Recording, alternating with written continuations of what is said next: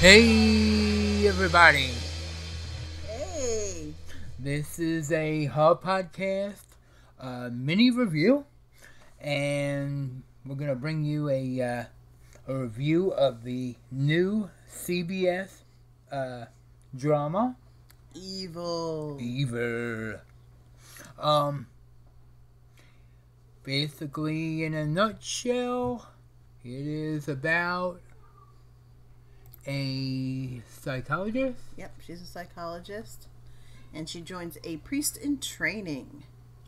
and uh, she's a skeptic, and uh, yeah, joins a priest in training, and they investigate supposed miracles, paran- uh, paranormal events, uh, demon possessions, and stuff like that.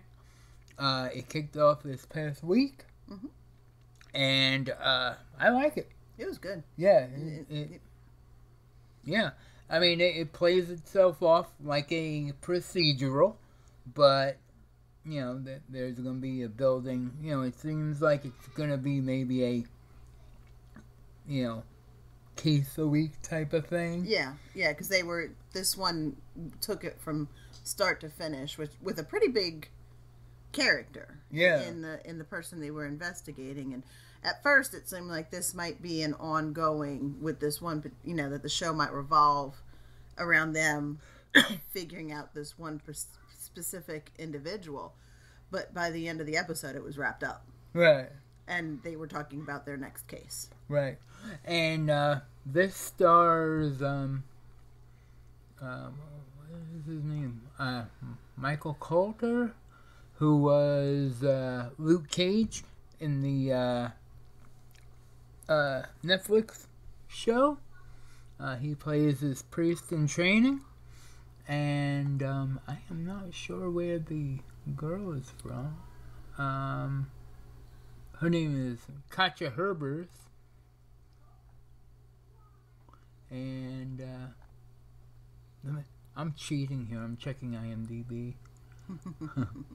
um, I think she. I don't think she's American to be quite honest. I think she's like half, like part-time American. Oh, Westworld. She was in.